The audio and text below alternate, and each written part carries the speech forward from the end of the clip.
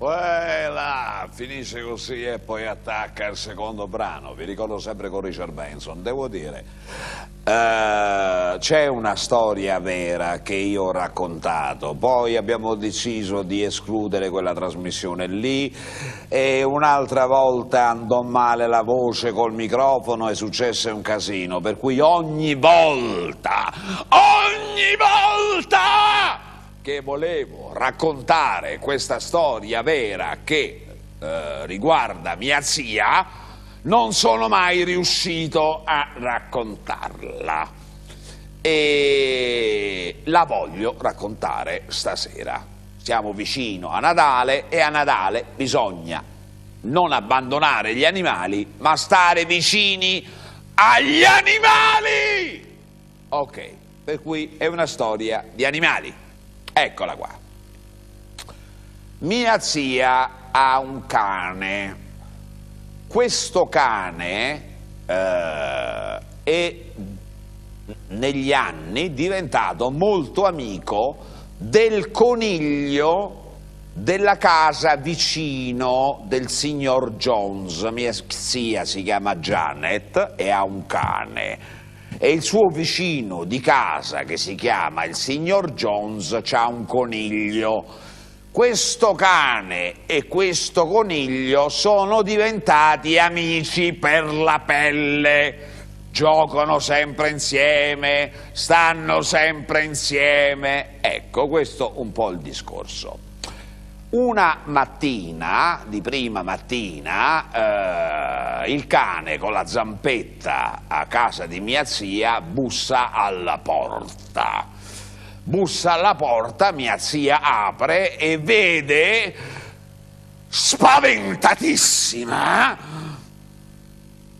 il coniglio nella bocca del cane il cane come se avesse morso la gola di questo coniglio e il coniglio è morto.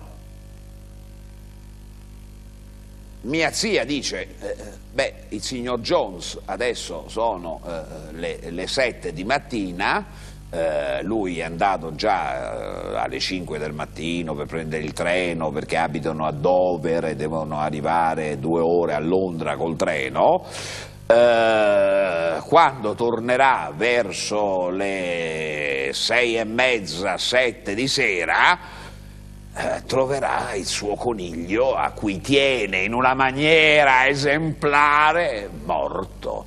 Mia zia non sa cosa fare, veramente, si trova in panne.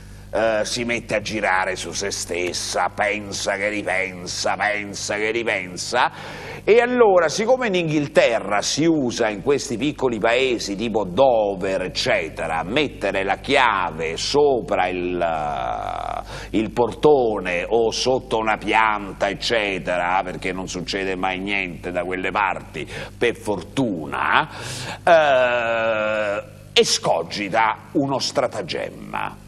È, questa è una storia vera. Lo stratagemma sarebbe questo.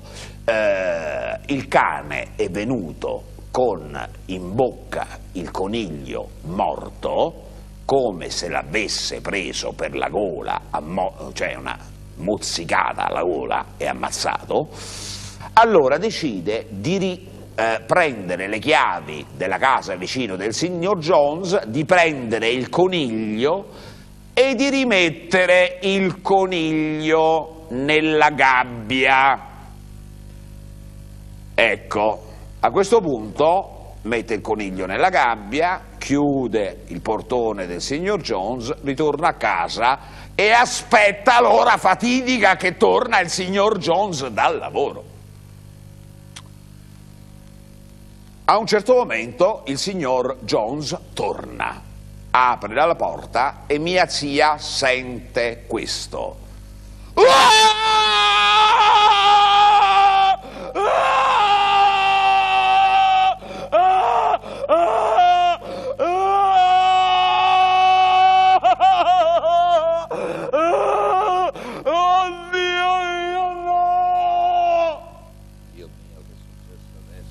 Madonna, devo correre di corsa dal signor Jones.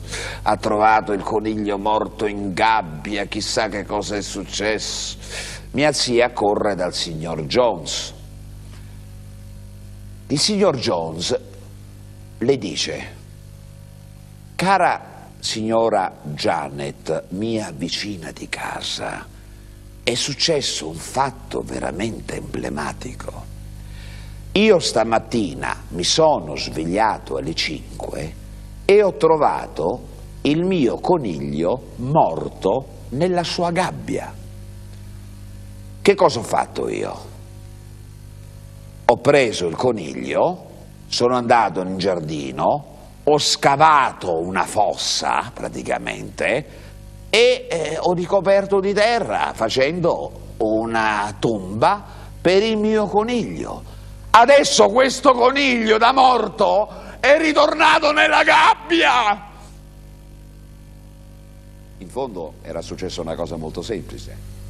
Il cane, sveglio, aveva visto il signor Jones che eh, tumolava, diciamo, con la terra il suo coniglio, è andato a scavare, a scavare, a scavare per ritrovare il suo amichetto se l'è messo in bocca e è andato a casa di mia zia. Questa è la storia.